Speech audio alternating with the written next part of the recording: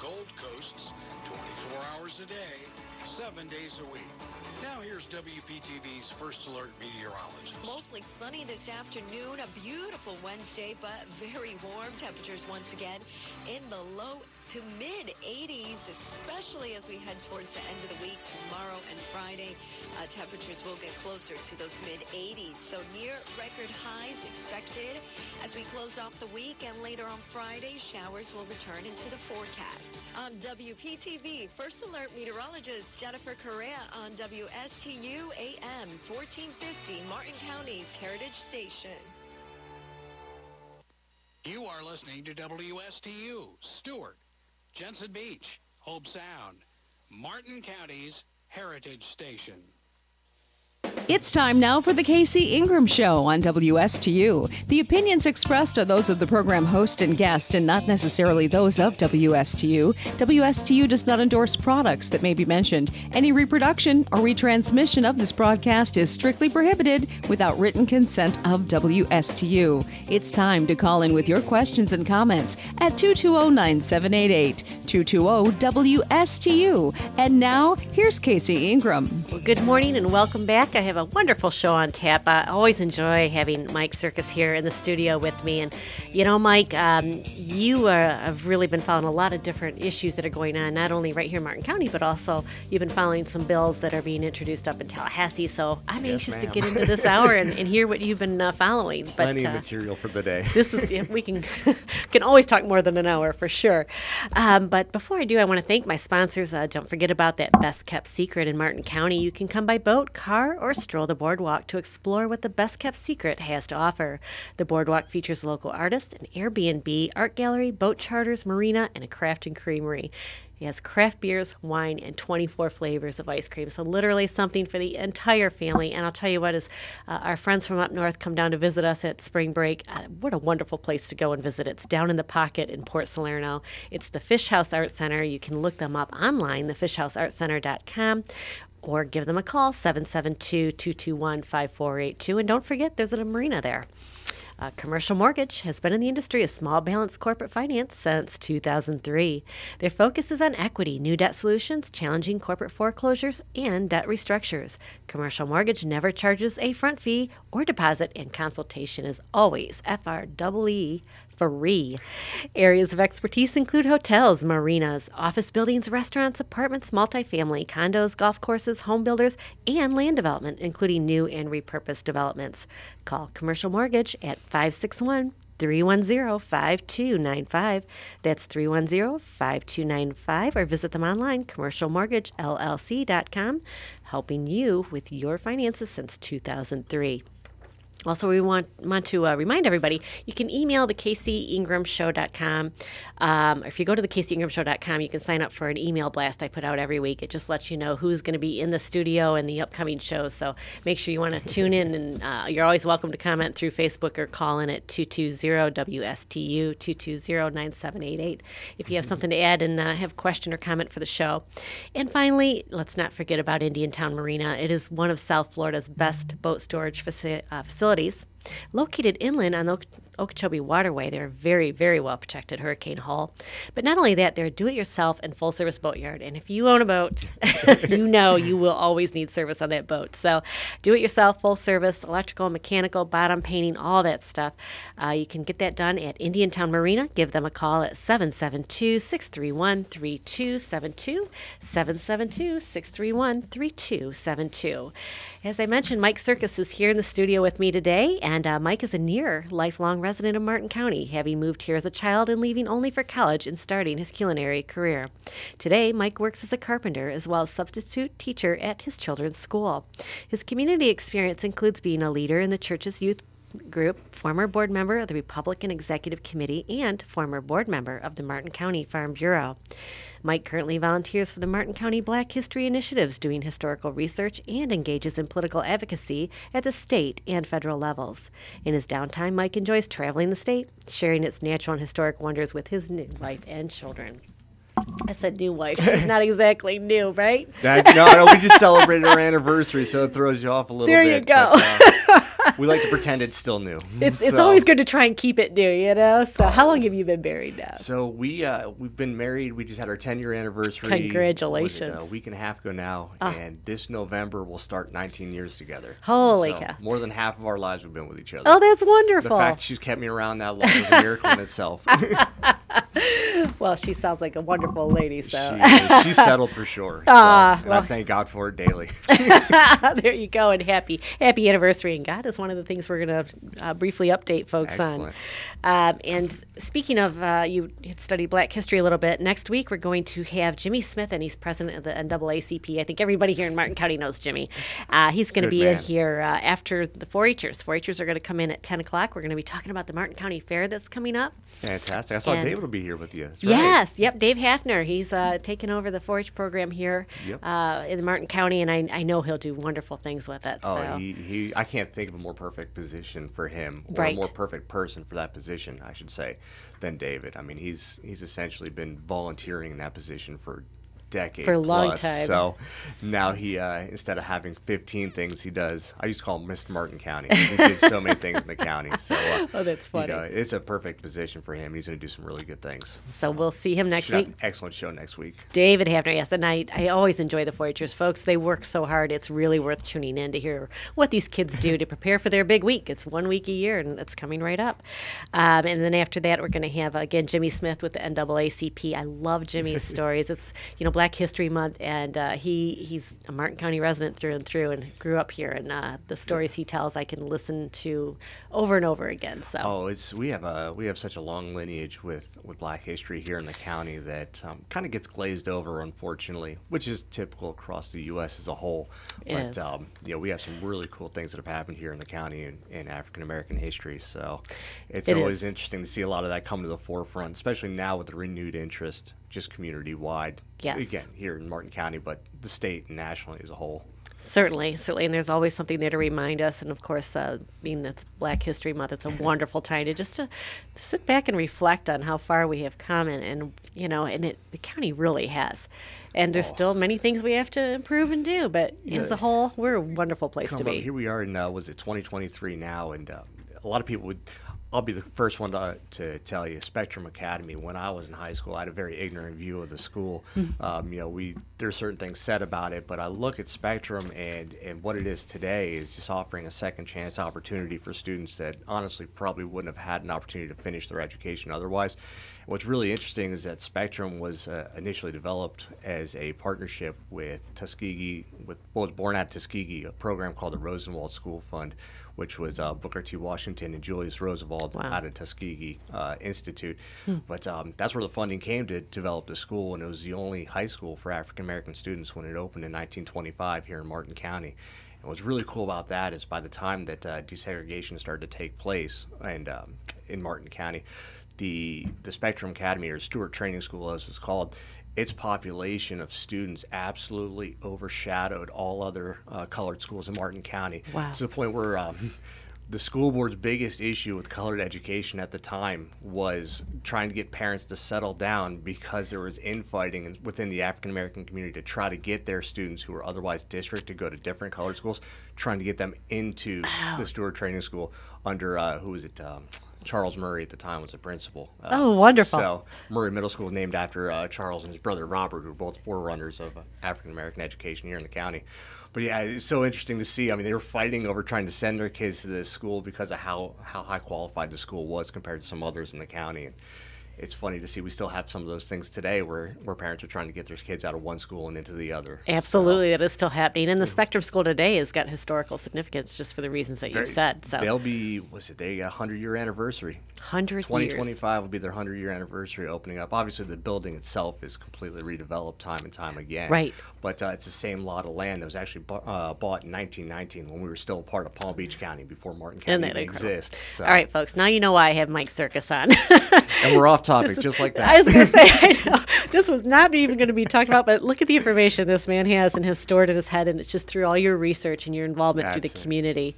Um, let's talk a little bit here, uh, some updates in Martin County, and then I want to hear about your legislative updates. But um, the first one was uh, it's back in December now, but the uh, Rural Lifestyle Amendment. We talked about that. It was passed through the county commission. It was uh, a bit of a contentious and, and well thought out vote, but it ended up passing three to two.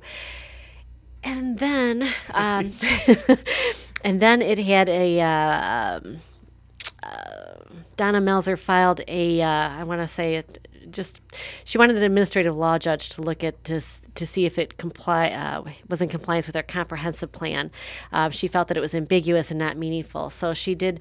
Um, file i'm trying to think it's not really a, a court case but it goes to an administrative law judge uh, a hearing I, I'm curious to see how this one really transpires because a lot of it took the lead off of what was going on in the city of Stuart with the Costco uh, challenge. That's right. Which again went through an administrative challenge, and just recently, I- same judge by the way It's same judge. That makes Folks. sense. It is mm-hmm. reasonable. Mm-hmm.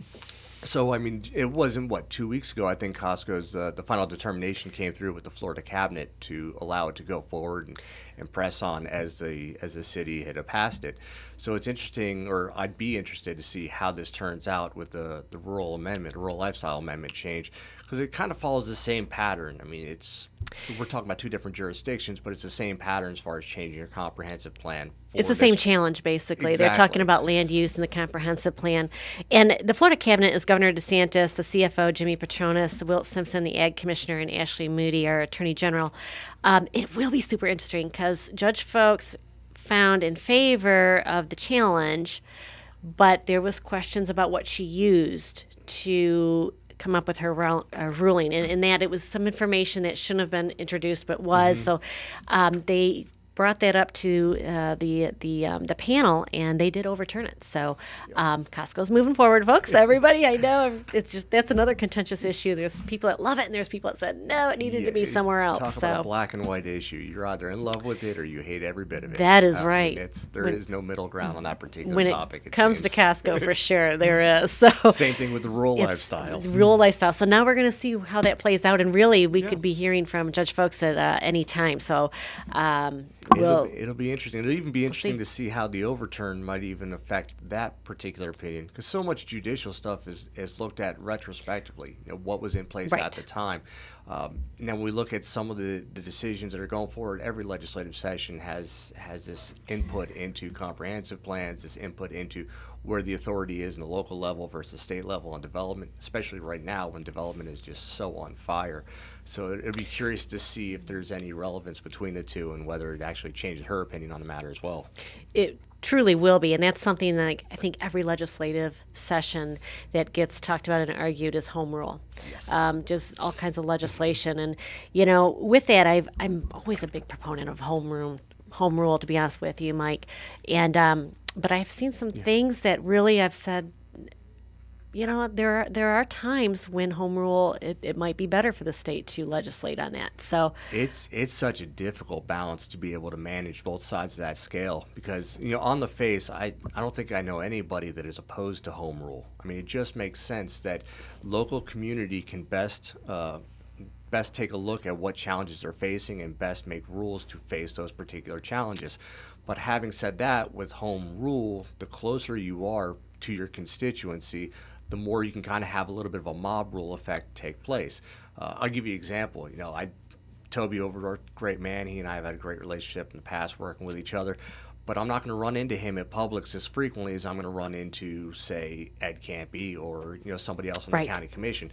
So you usually have a much louder voice at your local level than you do at the state or federal level, which is great in a lot of ways. But it also means you can have a heavier push on that again, that mob mentality. You can get a very loud group of people, small group, but a loud group of people that can that can push forward some ideas that may step on your right as an individual, somebody that- else's right as an individual. That actually happened, and I wanted to cover that as well and uh, go over the, the pet ban, the pet, retail pet store Mm-hmm. Perfect ordinance. example. This is an absolute perfect example where, you know, I was all for home rule, and now I'm thinking, you know, maybe the state needs to look at this because this was something that, um, in my opinion, and I, th- in your opinion, Yep.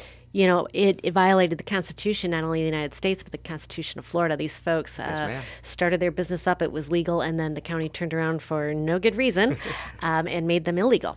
That's it. You know, a very vocal minority um, brought up, and by all means, pet mills are an issue in our country. I'm not going to say that they're not. That's right. There's no doubt about it.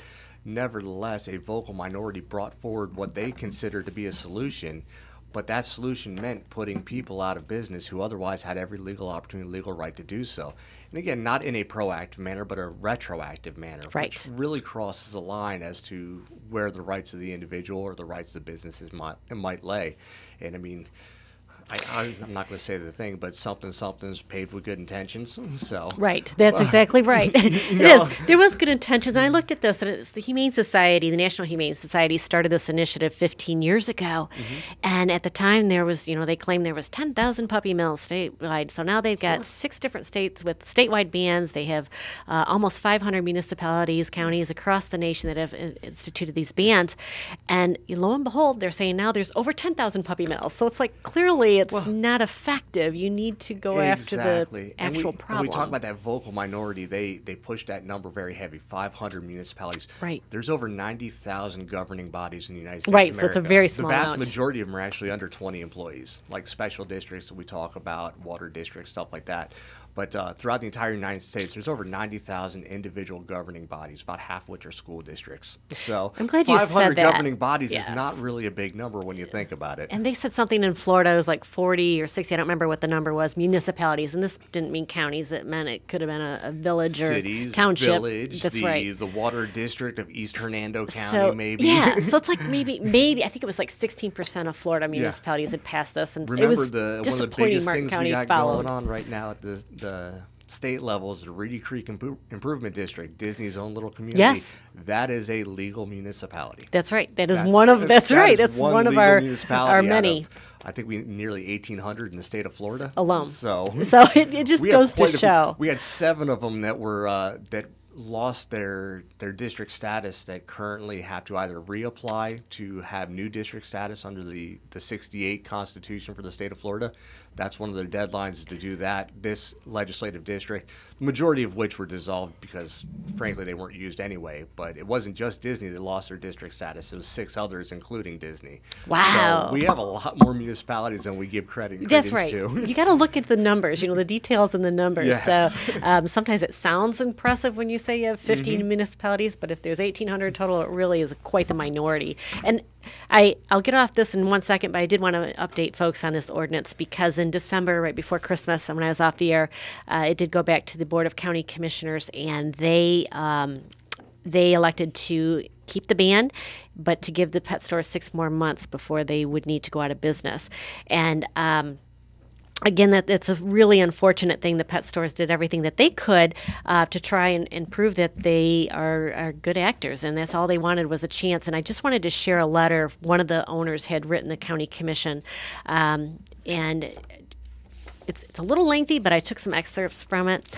Um, it. You know, it's been six months since we learned of the surprise hearing on June 6th, where Martin County BOCC publicly informed the community that the BOCC had worked since just following the opening of our business and making a huge investment here in Martin County to draft a pet store ordinance that would order us to close our new business without having met us, without our store ever being inspected, and having afforded us no due process. Throughout this time, nothing has changed since the initial way this process was conducted. There's been no due process, no truthful investigation process, and we have continued to be blindsided by untrue allegations, innuendo, and contrived documentation without ever really having the opportunity to spell those truths. These pet store owners were so frustrated because they wanted, at one point during one of the meetings, one of them said, What are you talking about when they were saying they're buying from puppy mills and they're bad people, they're doing this and that? Yep. And they were told, to be quiet that public comment was over and so they never got a chance that's why i'm reading this today i want to at least give a little you know fair shake to them. Um, but you know full explanation in response to the allegation that the animal hospital in West Palm Beach had been issued citations in the past. It's true, but the citations were given improperly. Hospitals are not governed by animal care and control or county ordinances. Per the DBPR and the Board of Veterinary Medicine, the hospital does not now, nor has it ever, sold live animals. Um, they said one of the animals there didn't have water. That animal was on an IV fluid. It was under vet care and couldn't drink water. So, you know, it's one of these things you go into these citations and um, you know, she really went on in response to the allegation that we purchase puppies from known puppy mills. They do not purchase from puppy mills. And one of her breeders was called a puppy mill by the National Humane Society, and she said it was because this person had sold to a pet store that had sold to Petland. Okay. And there are bad actors out there. Mm-hmm. And apparently, they didn't want to sell this puppy breeder didn't want to sell to Petland. But when the Humane Society found out they were selling to Petland, they didn't even realize the pet store had changed ownership to Petland. They put him on the hundred horrible list, and so now they're called a puppy mill, and that's one of her breeders. And when that person found out it was Petland, they stopped selling puppy mills. But there you go. So there's so many explanations, and I just kind of uh, wanted to share a little bit more. It's a very long letter. I probably take me the rest of the half hour. I was going to read it all, but honestly, I think you get the point. Well, not to mention, nobody's perfect in life. Let's be honest. Right. I mean, there's only Right. one perfect being, and I'll tell you right now that I am not it. I'm not So- either. I'm not either, and everybody. So to hold that over somebody's head, Yes. it's like okay, when you found an issue, you rectify it, so you're going to continue to punish somebody Right. over a previous issue. I Right. mean, I, I think if we were to apply That that, already to took the, responsibility for that issue, and If we were to apply that to the people that made this decision, I don't think it'd work out too well in their favor either. Right. So that's exactly right. So that's that's where it stands with the puppy stores today, and we'll see what happens. Uh, you know, legally, I you know I, I know that they're trying to assess their situation, but it's been disheartening. Sixteen employees they employ here in the county, and Yeah. um, it's a safe place to go purchase puppies, and and now that's gone. So It's a dangerous. Uh, it's a dangerous uh, precedent to set, to say the least. That we would we'd go forward an ordinance on something that retroactively went after people already existing in the county. Because even for those that are just adamant, they don't want to listen to anything. They're adamant. They're against these pet shops and they want them gone. Period. And that's it. Ipso facto, done. You know, to set this precedent that we're going to allow ordinances to be crafted at the local level that are retroactive to people existing because somebody comes out and says, "Hey, we don't like it." That's extremely dangerous. I mean, that can be applied to. I mean, you said it how many times? This is a small business issue. This can be applied to any other business out there. it can be applied anywhere. Any small business owner should be concerned. I mean, again, this is a violation of the Constitution, ex post facto Yes. laws. They were completely legal, and the the county commission mm-hmm. turned around and made them illegal for And no, this- you know. like Stacy brought up, this is the exact thing that fuels the flames of the fight between home rule That's and right. state preemption. You know, the state has a responsibility to ensure the legal, uh, the legal rights that are endowed to us as citizens. So when you have something that happens at a local level that counteracts that, the state is the one that is in the position to to come in and say, "Hey, we're going to stop it." And uh, that's that's a hard that's a hard one to, to do It for the state to give the power back to the counties. It's a very difficult thing to do, and uh, I mean, for years I've looked at home rule issues, particularly in tobacco, but just in general, firearms as well. That's one that takes a long time to turn the train back around on, and almost never does the state take a preemption in a case where the counties were not being charged by their citizens for for some Right. type of transgression to be Overstepping the- with. So it's always a fight between the citizens and the county, and the state steps in and takes the toy away from both kids and says, "Guess what? It's mommy and daddy's toy now." That's right. And that's So- kind of what what's happening. You know, it's like it's hard to get your heck Xbox back when you and your brother keep fighting. That's so- right. That's right. So we're just going to take it away. That's it. You know, and, and unfortunately, I think you know this was one of those cases where I'm like, ah, I can understand why sometimes the state does overstep home rule because this isn't right to these legal businesses. But um, you know, a small group came in and convinced our commission that they. I, I understand they were trying to do a thing. Everybody wants to save abandoned and course, of abused course. Dogs. That's that's not the argument that happened here, though, unfortunately. So, um, geez, and Eric Miller, uh, Eric Miller, I'm glad you chimed in. He said we need to work close to home and to bring back freedom. Eric, you're going to be uh, on the show. Uh, we're looking at hosting a show March 1st um, because there's a lot of things that are happening in Indiantown. yeah. And Scott Watson filed an election complaint with the Florida Election Commission, and uh, lo and behold, they are charging Robert Burns, who got really infiltrated Indiantown politics, who's up in Yes. Brevard County. And, uh, you know, Eric's looking into some information up in Brevard County about this. And uh, I know Scott Watson is very excited. There's 42 counts of elect- election fraud being charged against uh, Robert Burns. It's just unbelievable story what's happening out there. Oh, Indian Indiantown's pot- uh, potential has been there just forever and a day. Indiantown's had the potential for, for great expansion, great growth, um, and they were really hamstringed by the county for a long time before they before they had their incorporation as a village. So I can fully understand a lot of the the reasons why people wanted to incorporate. Having said that, a lot of people recognize that incorporation is now an extra level of government I don't want to say interference, but government to work with or to work against you, either Right, or, right. depending on how well you get organized, especially from the get go, which really was the struggle for Indiantown. I mean, they had a hard time getting their legs under them in an organized fashion, and unfortunately, they're kind of getting to that time to pay the piper. Truly. And, um, you know, I, it's it's exciting to see Taryn now in a I guess an interim position Yes. is what they have her with for the uh, the village of Indiantown. I mean, she's got a Yes, world Commissioner Harold Jenkins says I want her back because she, she works for him with his landscaping company. So it's supposed to be interim. We'll see how it all plays out. we'll see how it plays out. But now they have somebody that has a, from an administrative standpoint, not an elected position, but an administrative standpoint, they have somebody that has just Right. a wealth of knowledge and experience. And I mean, I know a lot of people that uh, ideologically do not like uh, Taryn Kryzda, and that's all right. We all have ideological differences, but that's where the importance is from an administrative standpoint. She has an experience to know how to dot her I's and cross her T's. Right. Which is something that the village just desperately needs at this state. It really needed a true leader, and I think that they showed that you know you got to watch who's infiltrating the politics. It's going to be Mm-hmm. really interesting. Something else, Eric said he heard his name in the audio dropped. Uh oh, I didn't push the red button, Eric. Um, We did that on purpose, Eric. but he's going to talk a little bit about the Brevard REC. I mean, they. Uh, they have where they feel like they've been infiltrated Mm-hmm. um, from the Democratic Party. So, and then they use this this Robert Burns to attack fellow Republicans. And Randy Fine is part of the person that Hmm. Okay, had yep. uh, you know filed these election um, contention He's complaints. a great stalwart of the state. He's, yes, uh, he is. Randy Fine really is. oh, he may he- be our next governor. Who knows? um, You never know. Tell you what, you know, I never really thought about that, but I can see where where he might He head might. in that direction. I can see the potential in that. He might. We'll see after we get after we get our great Governor DeSantis elected president.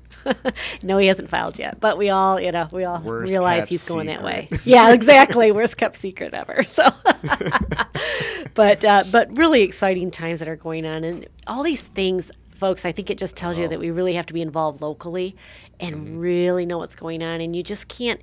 I think one thing that happens that's sad for me is unless it's in your backyard, unless it affects you personally, people just don't seem to get involved and really pay attention. And then all of a sudden, it happens to you, and Yep. you don't have the support you need from others. And I'll tell you, I mean, I great wife, two fantastic kids. I gotta work to keep food in my belly, just like absolutely everybody else. I fully understand. It takes a lot of time ah, it just to stay alive these days. Let alone getting into something like politics, where there's a legitimate feeling that that people are just spinning their wheels. I mean, there's a lot of oh, people. Oh, you feel, feel many times you're not heard. time. You know, a lot of people feel that way, and I'm not going to tell you that every time you put forward your effort, it's going to pay off. Because realistically, it's it's an uphill battle every step of the way. Nevertheless, if you throw in the towel now, it's never going to change. Yes. So Yes. Uh, your only hope is to get your voice out there, That's try it. to reach out. Um, you may not get a response, but hopefully, when there's enough people, Yep. you you will get a response. I can tell you that. If you rally enough support, worst case scenario, you're going to sleep easy at night knowing you did your part. Yes, Worst yes. case scenario. And we always say, if you don't vote, don't complain. Get out there it. and vote. That's where that's where it starts. If you're going to do something, at least vote, right? That's right. That's exactly it. so, all right, Mike. So tell us what's going on here. We'll start with the county, and then we'll kind of move up to what's happening in Tallahassee. Sure, sure. So I guess it was the last meeting, the 24th. The county had their legislative priorities, what they're looking to, to achieve going throughout this year. And a lot of it's the same that we've had for several years now. We're looking at obviously water quality issues are a big thing, Yes. big concern. Uh, Sarah Heard had stated that one of her, her objectives, or I said two objectives she had that she specifically stated. One of them was looking at the, the releases out of Lake Okeechobee from a mechanical standpoint, which I thought to be quite ingenious. I mean, we know that there's very limited things we can do as a local body when it comes to water discharges out of Lake Okeechobee. Yes. As that's a, a predominantly federal decision as well as some some state in, in uh, involvement. But Sarah had a very a very good point. The locks or the, the water discharge we have now, essentially the water rolls under the locks, which brings with it sediment, which brings with it a lot of uh, not just water, but the the actual um, the Nutrients and dirt and pollutants. nutrient and pollutant itself. But there's several other locks where you can lower them top down where water spills over instead of having it flushing out as a fully open gate or Well, that's flushing from the interesting. bottom. So it's it's a unique way. It's a new way to take a look at the problem. I mean, we've spent decades spinning our wheels trying to say stop the water flow, and we've gotten. I don't want to say we've gotten to the end of that road. We're not throwing the towel in on that fight either.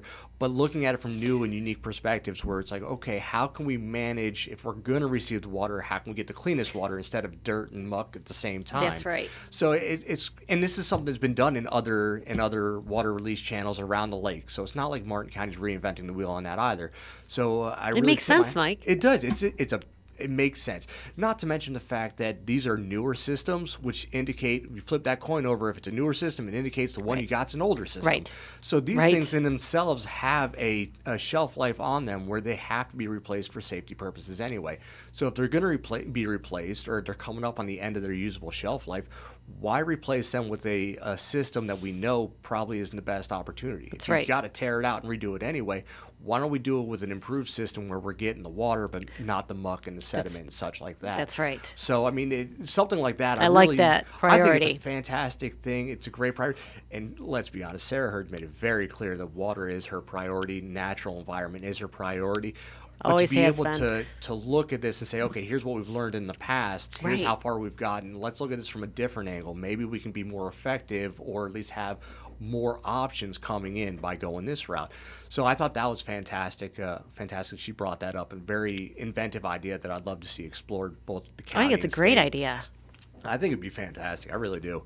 Uh, another one of hers, I think it's a bit of a long shot, and um, I love that she brought it up, but trying to get a national park designation for the Indian River Lagoon itself, which I I think she's really shooting for the stars there. And Mike, I had the Indian River keeper on a week or two ago, Jim Mm-hmm. And that's exactly what he said his goal is as well, is to try and get this designated as a national park. It would Tough to do, yes, but it'd be fantastic. There's only 42 or maybe 50 national parks in the. In Of course, we got the. Everglades, you Yeah, know. I mean, Department of the Interior has about 500 locations over 50 states and six different. Uh, Six different territories that are owned by the United States. There's about 500 locations the Department of Interior oversees as you know national park or national park affiliated sites.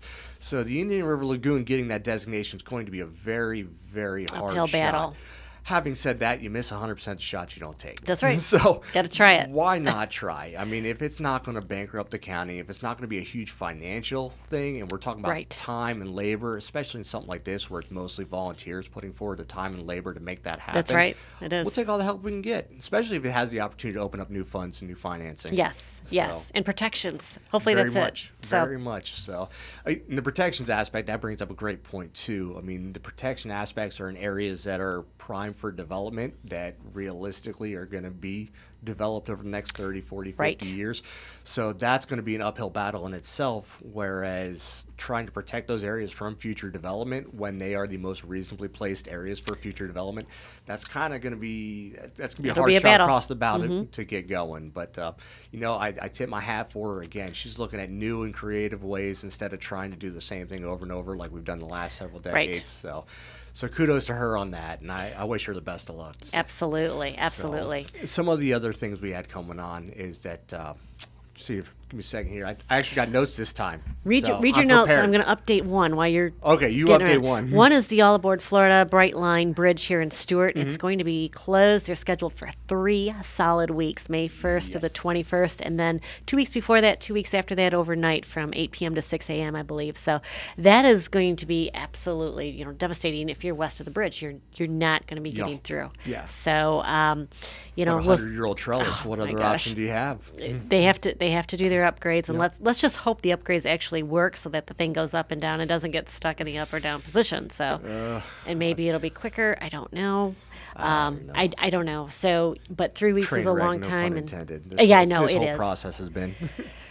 so it is it is. So you know. But uh, as I forget, the other two that uh, legislative priorities. One one was brought forward by Commissioner Affordable Housing. Several commissioners, Ed, Ed Ciampi and Miss Hetherington as well, have brought this up. You know, affordable housing is just a perpetual problem across our community, Everywhere. state, the f- federal level, everywhere.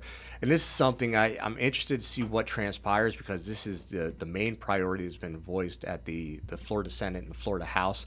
So, how much action might take place here locally or how much efforts put locally? And quite frankly, there's only so much you can do locally to affect change in this policy matter. Um, I, I don't think we're going to see a whole lot of anything except for discussion for the foreseeable future at the local level. And not that the local level can't do anything, but it's also practical to make sure we wait until after May when the state is done with theirs so we know what laws the state's going to uh, if any changes the state makes coming up in July. Um, you know, wait until that point. This way, the county can have some direction. Okay, what can we do? What can't we do? You know, what is practical?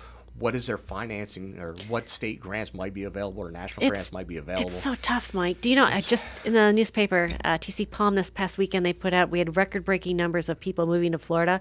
We always heard a thousand a week. I broke down the numbers last year. 1509 not a week Yeah. 1598 people basically 1600 people a day are moving to florida 1600 a day and you know everybody talked about in Stuart oh we have 3000 new apartments that's two days worth of people yeah. we have so many people moving here. I mean, to, to, to attack this affordable housing, there's such a demand. It's tough, tough, I, tough, I'm tough. blessed and fortunate. I have a meeting this afternoon with Toby Overdorf's folks. I've had some great productive conversations with John Snyder's team as well as with Ms. Harrell's team over the last couple weeks. One policy that I'm looking at uh, working at this particular session is a change to Florida's Homestead Acts, uh, particularly our Save Our Homes Act. So in the state of Florida, you can leave your home to your spouse without losing that 3% or CPI cap. Okay. You can also leave it to your minor children without losing that 3% CPI cap. But if I were, let's say I'm 80 years old and I'm ready to leave it to my children at 50 years of age, when I go to leave my home to them, they lose that cap. So you think about what kind of financial burden that is. I crunched the numbers on my own family home. My, my folks still live in the same house that I grew up in, starting from fifth grade on. If they were to leave that to my younger brother to entice him to move back from North Carolina, if they were to leave that home to him, their property tax bill would increase 197%. And, you know, it, to me, it's just kind of a jarring thing to think about. because it's staying How- within the family. Exactly. How are we ever going to offer affordable housing at any level if you can't even leave a house free of charge your to your next of kin That's right. without punitively hitting them with such a high tax burden that they can't afford it either? I mean, it's it just I- I agree with else you're gonna you. Be able to do with that, and it, it's really funny because the Save Our Homes Act is part of a homestead law.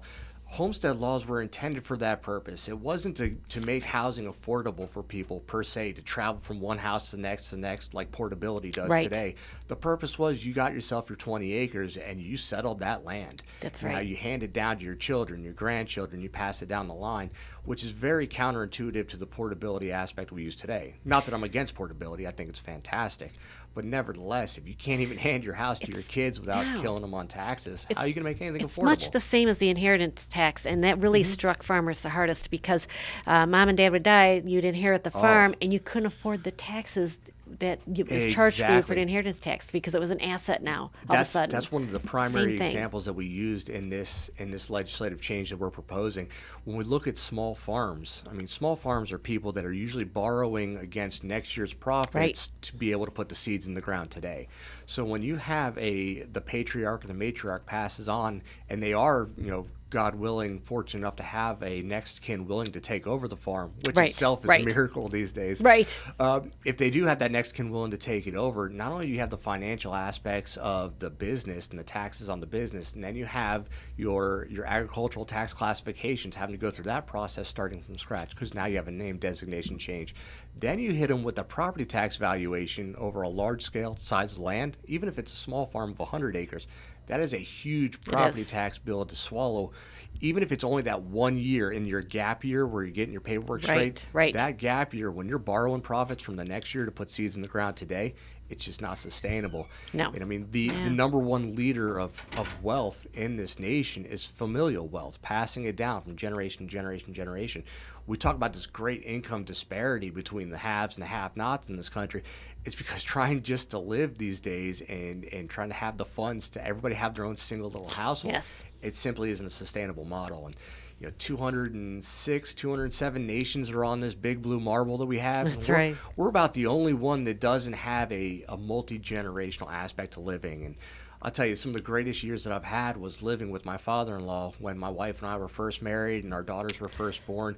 Um, you know, not only from the financial aspect that it gave us an opportunity to save up our funds and not, you know, we all split bills, right. but splitting bills is a lot better than everybody having their own household and having those bills to swallow It gave you the opportunity to get on your feet But- and save up a little bit. save up money. It's a great aspect that um, you know you have that expendable income to put back into your community as well. I mean, if I'm not spending all my money on That's right. electric and rent, I can go over to the restaurant across the street and support the income. I can go over to the Elliott Museum, or maybe I want to go. You know, if someone's doing this in Orange County or uh, Orange County and they want to come down to the Little Old Stuart to go fishing, 18% bed tax. I mean, if you have a multi generational household in another part of the state, you got money to go on vacation.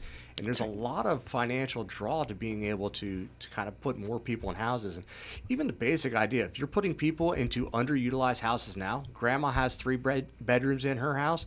Well, if we're putting more people, the same family, into that one house, that's less demand for people to buy up more houses, Right. less demand on people to get into apartments and rentals that little demand that uh, that relief on demand means we have more houses for sale less building uh, bidding wars to buy houses so the costs come down you know less house demand means less need to build more houses Supply and demand. mean, Simple e- economics, right? I guess the best example I can give is no, there's no silver bullet to affordable housing, but our proposal to to encourage multi generational housing It's kind of like a shotgun blast. You know, each pebble of- takes away a little piece of What kind all of feedback are you getting as you're speaking with our representatives? Yeah, I was very happy.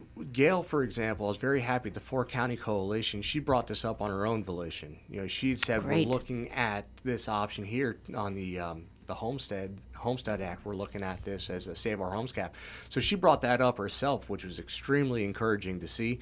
Um, like I said, I'm talking to Toby later on this afternoon. His group, John's people, they were very. Miss Sweeney was extremely. Uh, uh, uh, happy to hear what we were having, very encouraged, and um, which was great. They it seemed like there's good reception on both ends.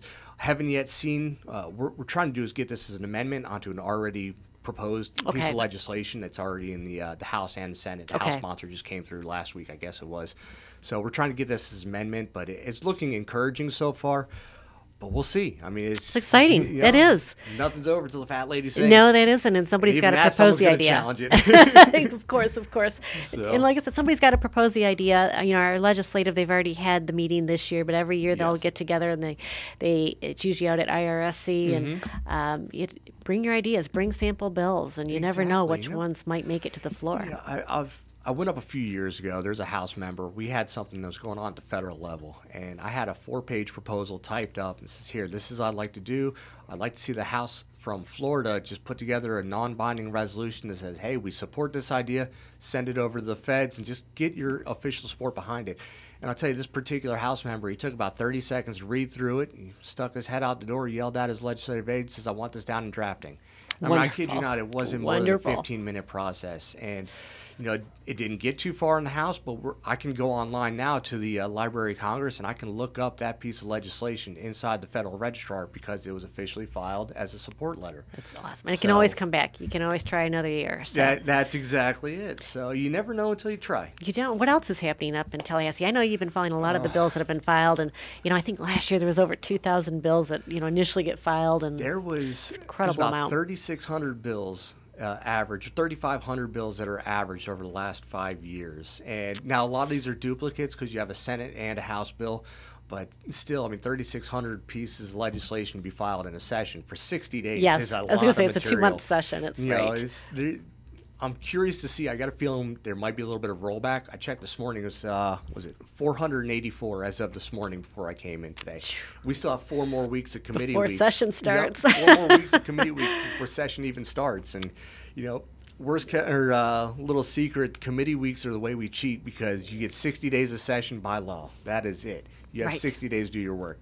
So we have eight committee weeks. So I don't want to say as a cheat. I don't mean it like that. We have eight committee weeks as a way to You're getting more work done, right. Exactly. artificially expand because now we can weed through some of the things that, that might not make it to the floor or probably don't deserve. Concentrate enough- on those that should. Prioritize. Exactly. Prioritize. Did you see some other bills So- up there that uh, folks might be interested in? I know you know, like insurance regulation is such a We'll see, we're huge gonna see- I don't think we're, there's not a whole lot for insurance regulation at this stage because we're coming off of the special sessions on insurance.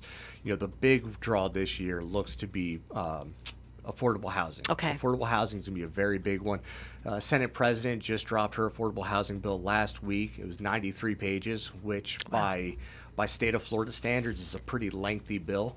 Um, this one, I'll, I'll be honest, affordable housing is very important to me, but I'm very concerned about it. Uh, when you read through it, it's very heavy-handed in regulation on development, or it seems to be heavy-handed in regulation on development, trying to make sure that we're building houses that fall within a financial criteria that's accessible to people that are, I think, 150, 200 percent of the poverty line, and that's kind of a scary notion to me. You know, if we build yes. houses on the perspective of okay, people that are in poverty-stricken situations can afford them that that's a dangerous precedent to set, just because you know that's an ever shifting target. You know, Yes. when our. CPI is seven, eight, nine percent now, three years ago it was one and a half to two percent. So cost of living skyrocketed over the last two years, meaning that affordability is completely tanked.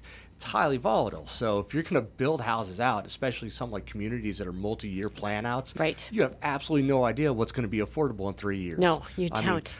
Two thousand dollars a month might be unobtainable today. Two thousand dollars a month might be reasonable in three years. It might be absolutely unobtainable in three years, or that might be dirt cheap and everybody's shocked. Oh, I can't believe I can get this for two thousand dollars a month. You know, you just have absolutely no idea with forward planning. So, to me, the going through a process of a shooting at a moving target like that, as opposed to looking at how can we make things affordable by just having more money in people's pocket or making things uh, more accessible that are already in place today, stuff that can be started within six months instead of five years. That's that's my general idea how to do things. Not to say that the the senator's proposal is bad, but um, it's just an ideological difference. It's tough for government because they have to be in a position where you know they need to help the private sector really uh, you know provide things that our society needs Yes. not not do it not Well- take take over everything so And we all know the unintended consequences Oh. always seem to emerge. So if you're going to put this restriction on people saying, "Hey, we're not going to allow you to build if you don't have X amount of your buildings Right. within affordable housing," okay, so how many people are going to turn around and say, "Well, we're just not we're just going to do it So okay, we're just we're not building anymore. Well, now you have a limit on how many structures and how many units are available, which makes the units that are available skyrocket once more. You That's absolutely right because you know builders have to depend on the cost of the goods. I mean, they, they have their own numbers that they have to make as well. So if you, the government comes in and tells them you have to start renting at five hundred dollars a month, they're going to walk Yeah. away. Well, in a speculative industry like construction is to begin with, when you're building everything out on spec, you already know that your profits are going to be either great or they're not going to be existent at all. So if you're going to tell somebody you're limiting their profitability before they even put a pen to Right. paper to sign a contract, that's a huge dissuade. It so is. It is. It, it, We'll it see what happens, but So, um, you know, some other things. I know the governor. I'm sorry. Yeah, real quick here, uh, we have a former Speaker Pro Tem, uh, MaryLynn Magar. She's also the chairwoman of our Martin County RAC. Appreciate you tuning in. And she wants to know, and you can uh, contact her after the show if you could come and present at one of the RAC meetings. You have some wonderful information here um, that to. I think would be great to, to share with everybody. So, I'll tell you, MaryLynn, fantastic. One of one of my favorite memories, real off topic. One of my favorite memories going up to Tallahassee. Me and actually David, he'll be office with you next week. Dave Uh, Hafner. Dave and I going up there with Farm Bureau. So MaryLynn used to have hanging on her wall pieces of art from throughout the community, and several of them were 4-H students. And I remember going up here, uh, going up there. Dave and I, we had some fresh from fresh from Martin County vegetables and eggs we brought up. Yes. And uh, seeing that little piece of piece of art hanging up on the wall from a local community member is really cool. So that's It is. It's very- it's ago, very and I meaningful. still remember that. So. I still remember that, MaryLynn. we but- miss you, and we hope we get her back in office here in the future. We'll see how that Yeah. goes. But yeah, I think uh, I think you would be a wonderful speaker for the RAC. I'd You've got some to. great information. I'd love to. Uh, some of the other things we got going on at the state level, uh, the Governor DeSantis has put forward what is the number one House bill, uh, HB one, which. Quick side note: When you look at a, a bill, the lower the number is, the higher the priority. So Okay. if you see a House Bill seven thousand eight hundred and twelve, it's probably not high on the All right. committee list. House Bill one's gonna get some attention. That's Okay. just how they unofficially Good to structure know. the stuff. So HB1 is a school choice bill that uh, Florida already has a pretty wide open voucher program for students that are bullied, students who are in families that are below a certain income level, uh, first responders, so police, fire, rescue, stuff like that. Uh, I, if I'm not mistaken, police, fire, rescue that are active in the state under a state licensure, they get first, um, they can get choice for voucher to send their kids pretty much anywhere to begin with. Okay. Obviously, within reason, the voucher only covers the same financial amount that the state would reimburse to the local school district. So it's not like you get to send your kid to a sixty thousand dollar a year Right. school for free. Right. You're still going to get that seven thousand that would have gone to your local school district. And so, uh, but the it's looking to expand that essentially to everybody, which I think is fantastic. I'm a huge proponent of school choice. Uh, I, I think this I know there's a lot of people that are kind of counterintuitive to it. They see this as uh, pulling money away from local school districts. I, on the other hand, would suggest like this school districts are reimbursed for every pupil they bring in. So it's not that the state is punishing them by not giving them money. It's up to the school district to make their district enticing to bring those students in. That's right. So if your district is like Martin County, where we have a highly sought after school district, I mean, we have some pretty good population numbers. You know, there's other districts that are not as fortunate. So allowing parents the opportunity to send their kids to a more appealing school and having the funds to do so, I just think is a no-brainer. So I- That's the I- theory of competition. You you try and improve yourself to get that customer. So Exactly, that, that's what competition's about. If if you're just handed money and you don't have to do anything to improve yourself, there is no incentive to to provide something better. exactly. I mean, why are you going to put forward the time and the effort to reinvest into your structure if you feel like you're already going to be stuck there? Right. You made what you're going to make, and that's it. That's it. You might as well just sit back and throw in the towel. So, if you have students that are going into private schools in your community and you're running a local school district, then that's a great way to sit back and say, okay, why are they going to these schools? Right. Maybe it's something that the parents are just. Uh, Parents are just religious, for example, and they want to send their kids to a religious place. You're probably not going to capture them in your local school district, and that's perfectly acceptable. But maybe your school district's struggling and you have whatever your agenda might be. You can recapture those parents by looking at it is it something we can actually change and fix? Right. So, Right, you never know. And Uh. speaking of education, Dr. Anselon's going to be on the show on February 15th, and he's going to be talking about the IRSC Promise Program. oh, what a beautiful program. Oh my that is gosh. two years free for uh, students coming yes, out of Martin County. yes, I mean, it's that's. incredible. and uh, if I'm not mistaken, that's almost all private dollars, too. That's not public dollars. I do at all. believe it is. I'll, I'll ask him, but I believe it is. I think it was a grant that was given to the school, so Yep. it's absolutely incredible. But that's going to be exciting to hear how that's been rolling out, and it, it's expanding. That's the great part. Know, really the only other one at the state level, well, there's a, there's a whole slew of them, but we always run out of time. Of course, I know. Yeah, there's one Evan's right telling now. us four minutes. There's one right now that, that takes a look at how we address recalling constitutional officers and elected officials at the local level. And this is one that I would highly hmm. say that people need to th- think about and reflect on before they go pushing into it. Because right now in the in the state we have two different counties. We have chartered counties and non-chartered counties. With a chartered county, you get a lot more leeway to enact rules and regulations that are beyond that of, of the state. So you kind of get a stronger level of home rule. Having said that, the downside is that you can be recalled from office. So this gives the opportunity for the citizens to turn around and say, we don't like what we're doing, we're pulling you out. Uh, it cannot happen for non-chartered counties. So why that what makes that important is when when you take away that threat of we're going to recall you if we place that onto non-chartered counties and say hey we're going to recall you if we don't like what you're doing well now you've taken away any incentive to keep them in line so Right. if you can punish somebody you're going to threaten to punish them with a recall then what's to stop them from saying, okay, if I'm going to get punished, well, we're going to go that extra mile now. So you kind of lose that checks and balances system in there.